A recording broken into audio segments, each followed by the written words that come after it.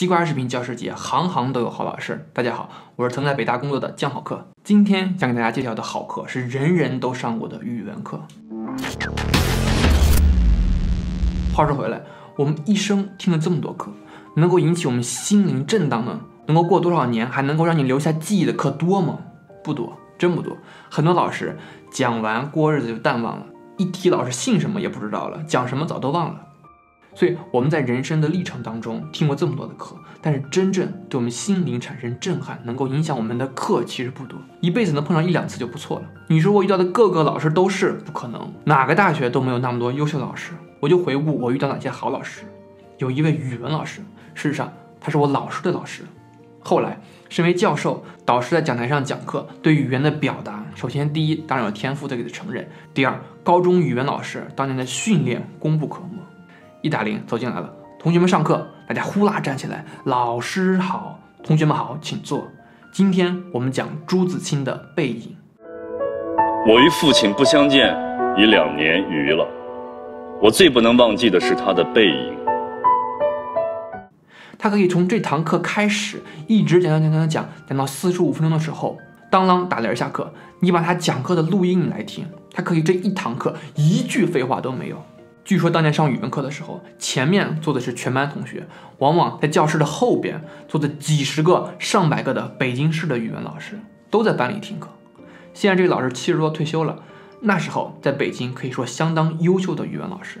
比如他上课给同学们提问，问你一个问题，你站起来了，要么你回答说老师这个问题我答不上来，那也没什么，那你请坐，换这位同学，这都没关系。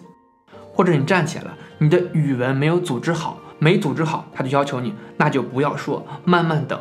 全班同学都在等，没关系，别着急，慢慢等。你一分钟、两分钟酝酿好了，他要求你，你只要一张开嘴，就必须是一句完整的话。你可以不说，但是你说出来必须完整。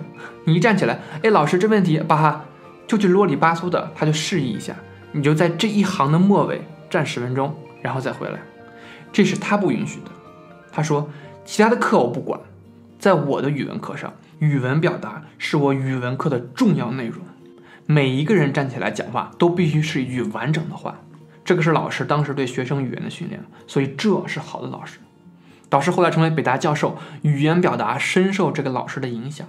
有时候回忆起语文老师当时在讲台上的那种风采，那种语言的抑扬顿挫，深受影响。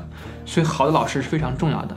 大家如果当了家长，对自己的孩子也可以这样训练，以后未来对自己孩子的语言表达能力提升都是很高的。他肥胖的身子向左微倾，显出很努力的样子。这时我看见他的背影，我的泪很快的流了下来。这位语文老师，女老师，四十多岁，当时文革刚过，她头发敢留这么长，这要是早几年都很难。她的父亲是北京师范大学的历史学家，姓白，白寿仪，现在去世了。